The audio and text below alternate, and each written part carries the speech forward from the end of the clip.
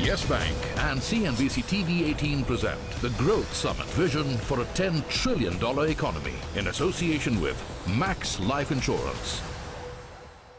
10 trillion economy uh, is going to change the way we live our, uh, live our lives, right? So, you, you think about uh, the developed economies, the kind of uh, quality of life we have there. So, India is uh, fastly moving into that direction.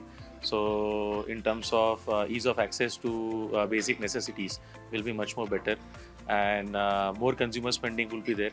So, you will be having uh, young uh, generation having higher incomes making good decisions, and that will be the driving force for the country's next economy. Yes Bank and CNBC TV 18 present the Growth Summit Vision for a $10 trillion economy in association with Max Life Insurance.